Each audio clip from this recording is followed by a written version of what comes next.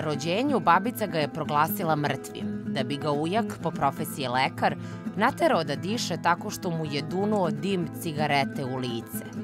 Njegovo puno ime sadrži 23 reči, čine ga imena raznih svetaca, rođaka, a poznat je po prezimenu svoje majke. Otac, Jose Ruiz Blanco, bio je slikar koji ga je vodio u muzeje i preko njega je zavoleo svoju buduću profesiju. Majka mu je bila ćerka vinara, a njeno devojačko prezime proslaviće najpoznatiji slikar prošlog veka.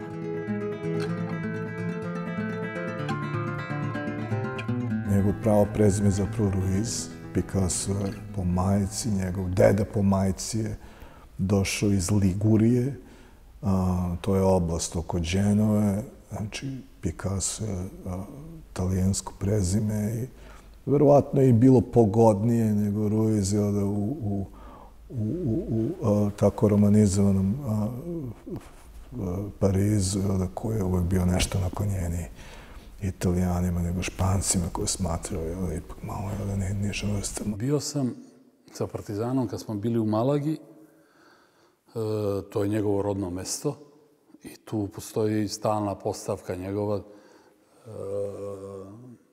veoma dobro napravljena, reprezentativno.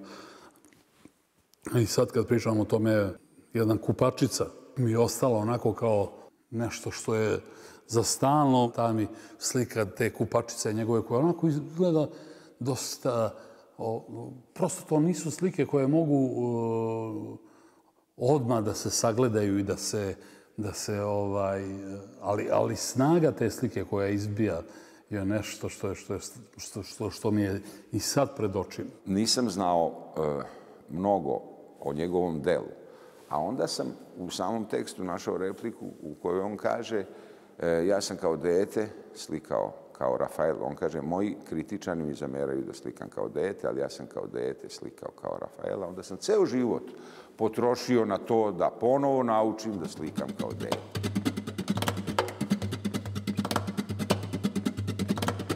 Kao i većini španaca, korida je bila njegova obsesija.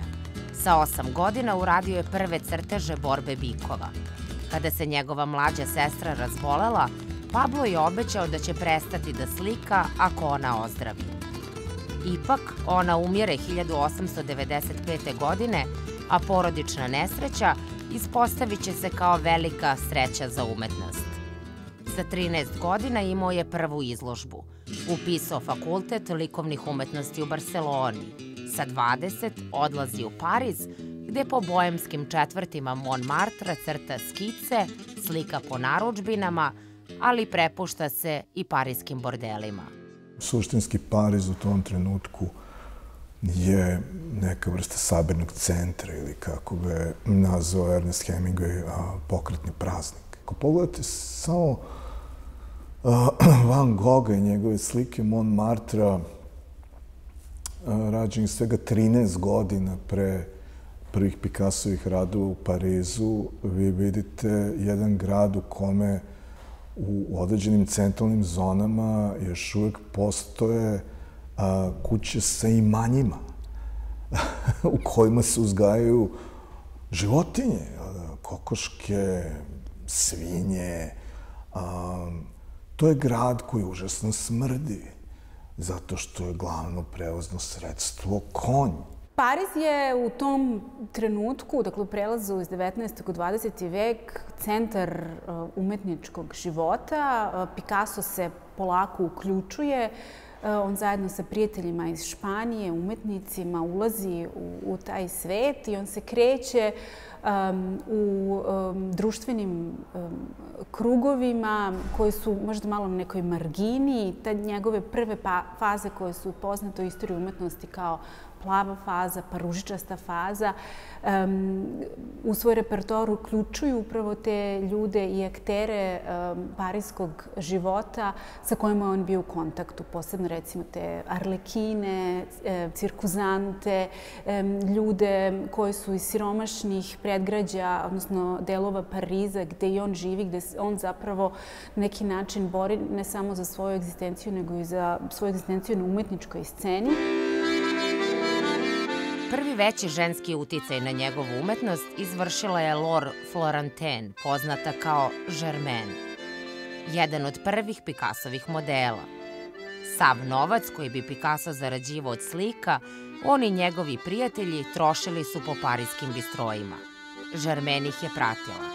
Picassov najbolji prijatelj, Kazagemas, bio je ludo zaljubljen u nju. Hteo je da je oženi. Ali kao u lošoj bajci, Žermen upoznaje bogatog Francuza. Kazagemos uzima revolver i ubija se. Taj tragičan događaj prva je velika Picassova trauma koja se vidi na njegovim platnima. Počinje prva faza Picassove umetnosti. Njegovo slikarstvo, pogotovo od smrti njegovog prijatelja Kazagemasa, kada započinje svoju plavu fazu, obojeno je duboko melanholijom i on se bavi ljudskim sudbinama, prikazuje e, ljudsku usamljenost, znači u tim najranijim godinama. On, e, dakle, e, šta radi na vest da mu je umro prijatelj? On slika. On slika i kaže kad bi ga zatvorili, kad bi mu uzeli olovke, sliko bi prstom po zidu. On slika, on ima potrebu da stvara. I to je nešto što gde sam ja razumeo šta je to u srži te ličnosti. Kada je 1904. upoznao Fernando Olivier, modela koji je, koja je pozirala mnogim slikarima tada, njegova paleta se menja u pravcu optimizma, da tako kažem, uvodi tu ružičastu boju. Znači, iz te melaholične faze on stupa u taj ružičasti period.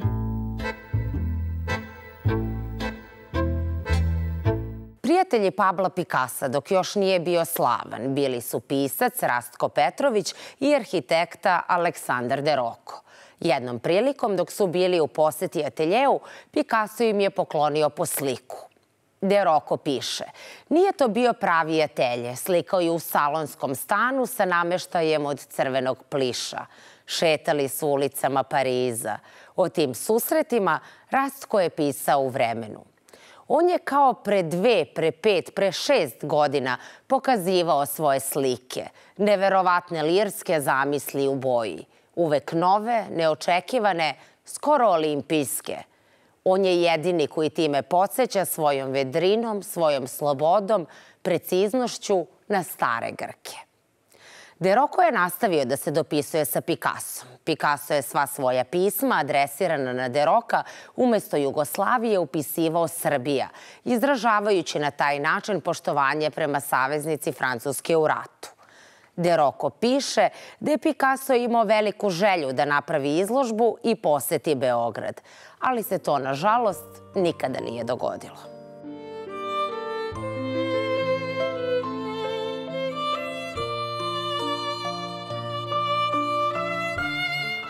U Narodnom muzeju u Beogradu nalazi se jedna Pikasova slika iz zbirke Eriha Šlomovića. Slika glava žene nastala je e, na samom početku razvoja kubizma u stilu analitičkog kubizma, kada umetnik još uvek eksperimentiše formom i kada još uvek taj proces nije doveden do kraja, mi vidimo ovde e, zaobljene linije, međutim, jasno se, jasno se ispoljavaju te uglaste crte, taj način e, e, na koji je tretirao formu, e, kojim će sledeći ga doći do punog kubizma. Ko zna šta bi bilo sa Pablom Picassom? Da li bi pod navodnicima bio samo poznati slikar?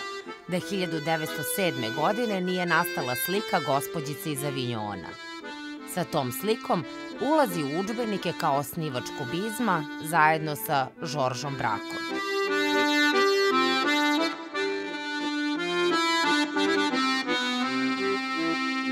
Gospođice iz Avignona je slika koja nastaje 1907. godine. Dakle, prve kubističke slike, prvo uopšte razmišljanje u tom pravcu već se mogu videti 1906. i 1907. godine. I ne samo kod Picasso, nego kod braka. Praktično od braka, kako kažem, taj naziv, nesrećni naziv koji ništa ne znači, besmislen kubizam, zapravo nastaje prema ovaj, brakovim slikama iz 1906. godine. To su slike pejzaže iz Lestaka koje je radio. Matisse je Louis Bosselu rekao kao ove brakove slike su sve nekakve male kocke. Nago telo je stara tema umetnosti, ali Picassove gospođice iz Avignona šokirale su čak i jednog Matisa. Ovo delo izazvalo je veliku pažnju, ne samo zbog onoga što je njegova tema, već i zato što se smatra prvom slikom koja se toliko odvojila od onoga što su do tada bili klasični slikarski kanoni. Picasso nije voleo i nije često imenovao svoje slike. Tako i ova slika je bila neimenovana, ali ako je govorio o njoj, govorio je o slici pod nazivom Mon Bordel, odnosno moj danas bismo rekli bordel, bordel, ali zapravo termin bordel u francuskom jeziku je, ima dva značenja. Jedan je značenje javne kuće, a drugo značenje koje je bilo jako prisutno na kraju 19. veka i kroz literaturu i na tom prelozu iz 19. u 20. vek je značenje zbrke. Znači, dakle, i danas u francuskom jeziku ima to kel bordel, odnosno kakva zbrka. Ta slika pokazuje pet kurvi. Znači, ne prikazuje Isus, Blaženu Devu Mariju, a, neki buržovski lep ambijent, kao kod impresionista, a, pet kurvetina iz Barcelona, pet drolja iz javne kuće, oni nisu iz Avignona, Oni su iz ulice Avignon, gde su se nalazili bordeli u Barceloni. I sad,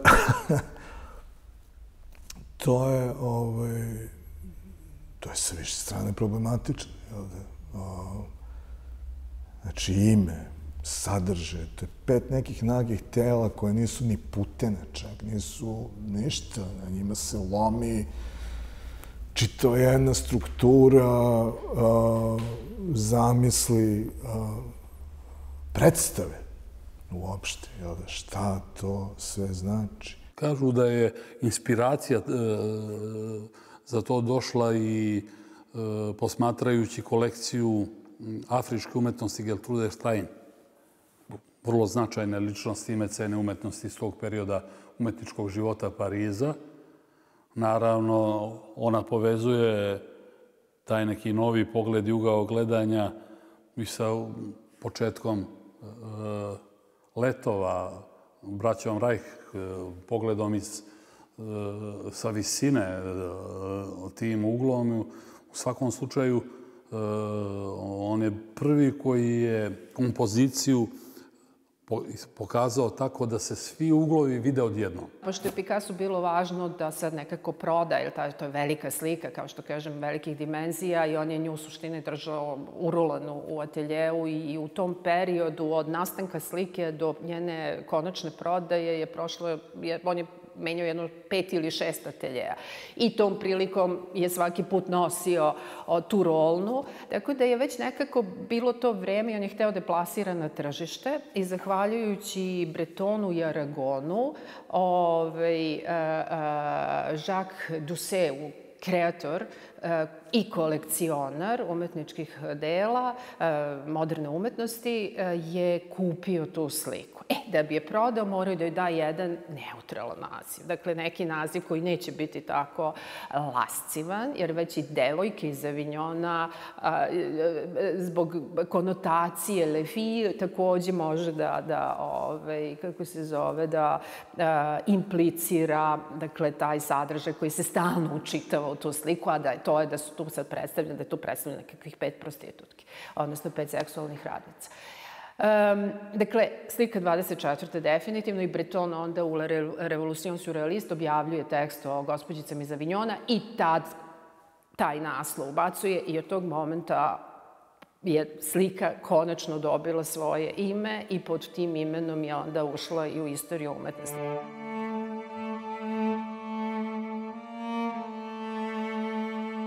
Ako su gospođice iz Avignona označile početak kubizma, Prvi svetski rat označio je njegov kraj. Za razliku od svojih kolega koji odlaze na front, Picasso nastavlja da stvara. prijatelj, pesnik Jean Cocteau pozvao je Picasso da zajedno u Rimu rade scenografiju za ruski balet. Tu Picasso upoznaje svoju prvu ženu, Olgu Koklovu.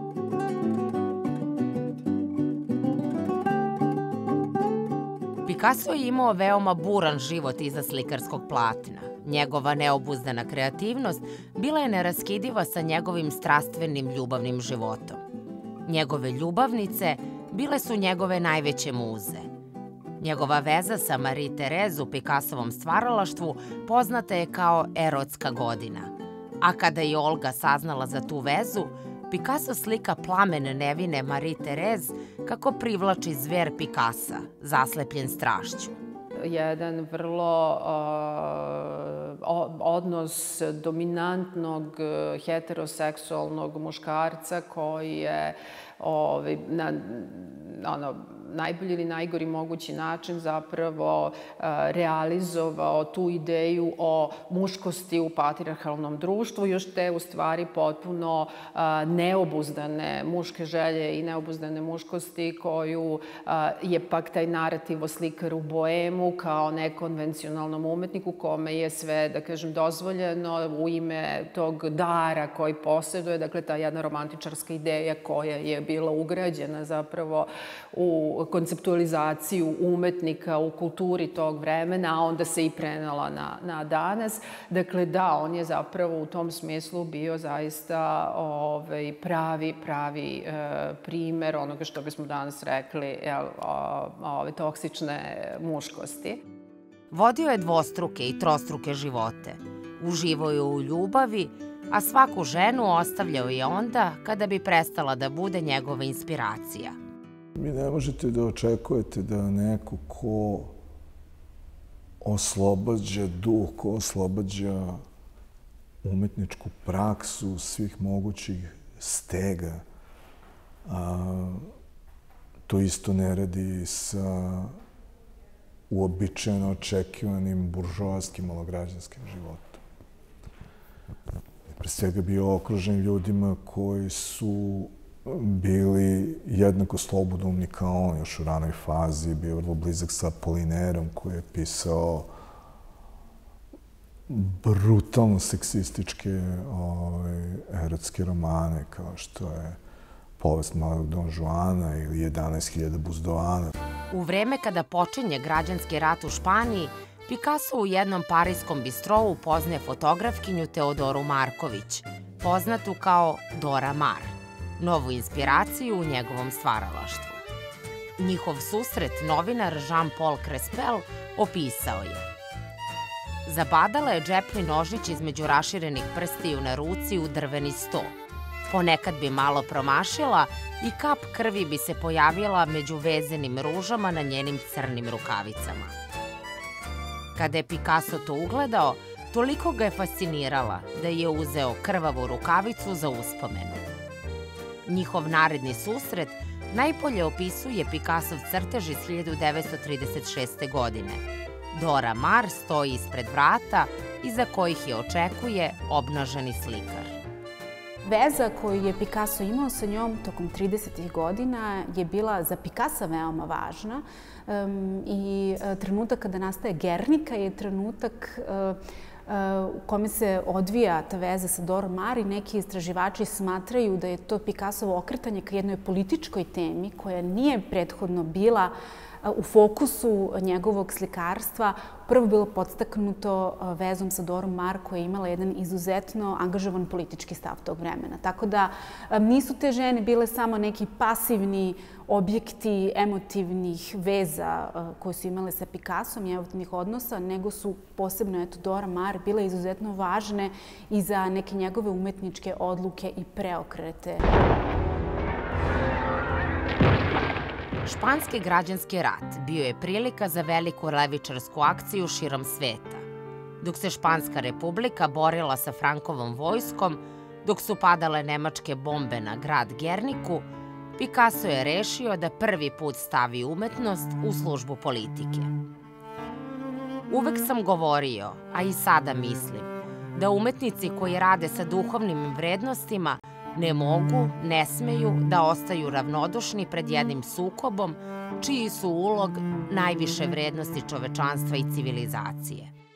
Picasso nije bio u Španiji, on je bio u Francuskoj, međutim, republikanci su ga pozvali da s jedne strane bude direktor muzeja Prado u egzilu, što je on prihvatio, i onda je to, kako kažem, trudio se nabavljao novac i za, e, pokušavao da zaštiti ta dela, dakle sve te nekakve radnje je ove, bio preduzeo, koje bi inače kao, dakle, na mestu direktora a, treba da preduzme, a s druge strane a, su ga zamolili da a, uredi jedno umetničko delo koje bi bilo izloženo na svetskoj izložbi 1937. godine.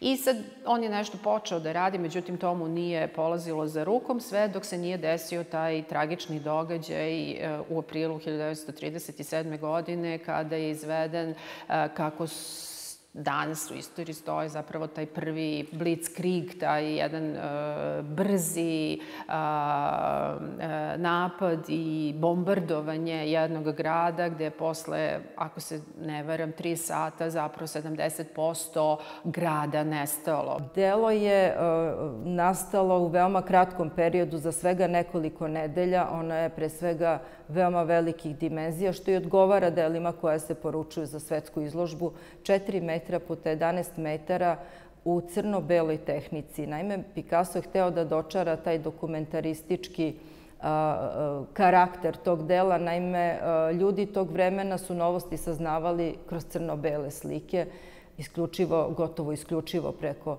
štampe i on se opredelio za znači, tu svedenu, svedenu ovaj, gotovo monohromnu gamu koja nije umanjila snagu tog dela. U, na Gernici Picasso se referira u stvari na uh, mnoge umetnike prethodnih epoha, na stare majstore, to je pre svega Rubens, čije se alegoriji posledica rata veoma divio.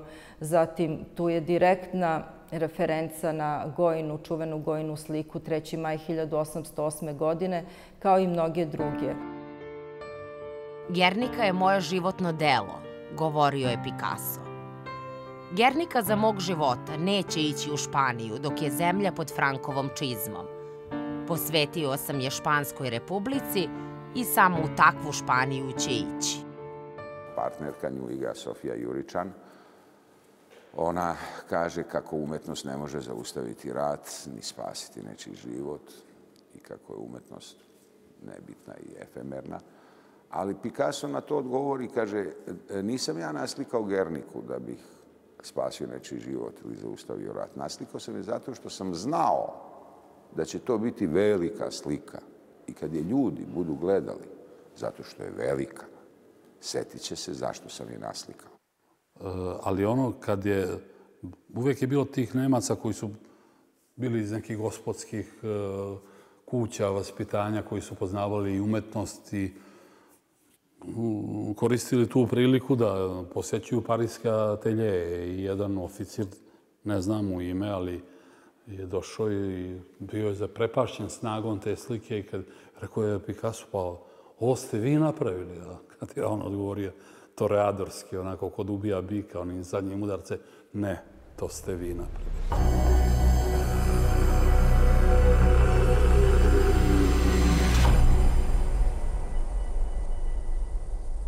Postoji ta jedna interesantna e, priča koja potvrđuje e, moć ove slike, da je 2003. godine, kada je tadašnji američki državni sekretar Colin Powell e, u Ujedinim nacijama govorio o američkom napadu na Irak, zapravo ta Gernika bila pokrivena zavesom. Da li je to urađeno namerno ili ne, mi to ne znamo, ali um, mi istoričari umetnosti volimo da uh, verujemo da su slike izuzetno moćne, tako da nam um, i to skrivanje slika u određenim savremenim političkim trenucima takođe govori ili potvrđuje kolika je njihova moć. Pablo Picasso je u toku rata bio antifašista i levičar. 1944. godine, dok još traje rat, učlanjuje se u Francusku komunističku partiju. Njegove kolege, poput Bretona, Dalija, distanciraju se od njega jer je prihvatio tvrdu staljinističku struju. Posle Staljinove smrti 1953. godine Pablo Picasso na poziv Louis Aragona odlazi u Moskvu. Tada nastaje čuveni Picassov crtež. On je komunista. Mislim, on je, on je otvoreno komunista i to komunista u onom pravom smislu te reči. Um, on nije imao problem da razume i Staljino znači u datom trenutku, iako su mnogi to zameli pre svih Breton, jel da? A, mislim da je Kokto jednom a, svedočio kada je on u stvari postao član komunističke partije Francuske, pa ga je Kokto pitao kao, pa šta se to dešava? On je kaže, pa znaš šta, mislim, konačno sam u porodici, jer kaže, znaš kako je sa porodicom, ovaj, svaka porodica je puna teških sranje. I tako da, mislim da to je jasno njegovo idejno opredeljenje, da to što u toj realizaciji često stvari ne idu svojim tokom, ne znači da je sama ideja loša, niti te ideje uopšte treba odbacivati. U to vreme u Jugoslaviji se uspostavlja samoupravni socijalizam pod Josipom Brozom Titom. Ipak, Picasso nije imao priliku da vidi jugoslovenski socijalistički eksperiment – Jugosloveni su mogli da vide njegove radove, ali Picasso nikada nije posetio Jugoslaviju. Picassov odnos sa jugoslovenskim umetnicima, intelektualcima, rekla bih, i njegovo poznavanje onoga što se kod nas radi datira čak iz godina rata. Znači, 44. godine Zlatko Prica i Jado Murtić rade prvu mapu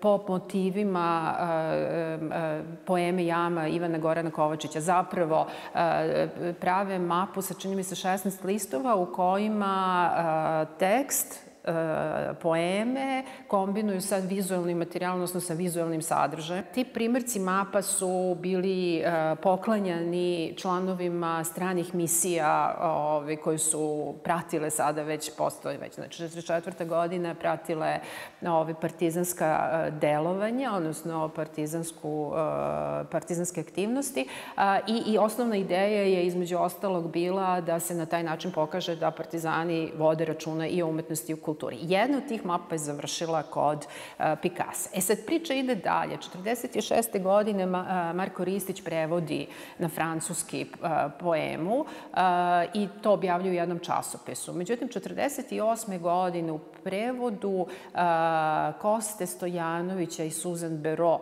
izlazi publikacija sa prevedenom, znači njihovom prevodu poeme jama Ivana Gorana Kovačića sa predgovorom Marka Ristića, sa Elijarovom poemom Grob Gorana Kovačića i Pikasovim bakrorezima. Tako da je ta neka, kako kažem, veza, veza između, kako kažem, Pikasa i jugoslovenskih e, e, umetnika, jugoslovenske kulture, dakle, te antifašističke, zapravo bila, evo, da kažem, prisutna tih 40-ih e, godina intenzivno. Na tragu ove veze, Picasso pravi prvi plakat za veliki jugoslovenski film Bitka na Neretvi, koji vrlo podsjeća na njegovu seriju crteža Otmica Sabinjanki.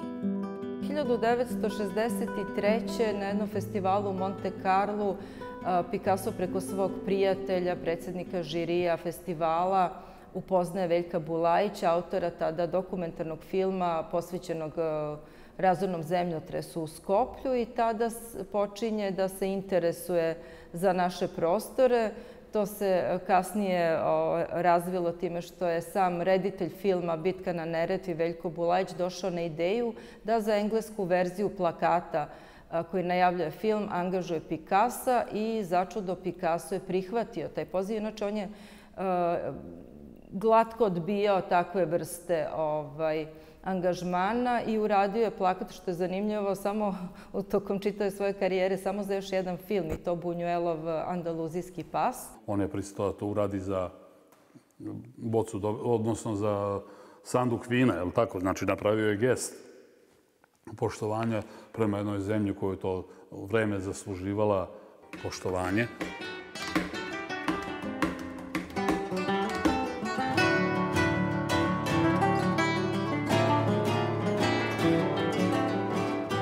Na Neretvi jedna je od najvećih bitaka i pobeda u jugoslovenskoj narodno-oslobodilačkoj borbi protiv fašizma. Picasso svoju pobedu da se vrati u rodnu Španiju nije dočekao. General Francisco Franco umro je dve godine nakon njega. Picasso je umro u Francuskoj kao emigrant i član komunističke partije. Značajnije od toga, Pablo Picasso je umro sa znanjem da je najpoznatiji i najpriznatiji slikar veka u kom je živeo. Što i jeste bio.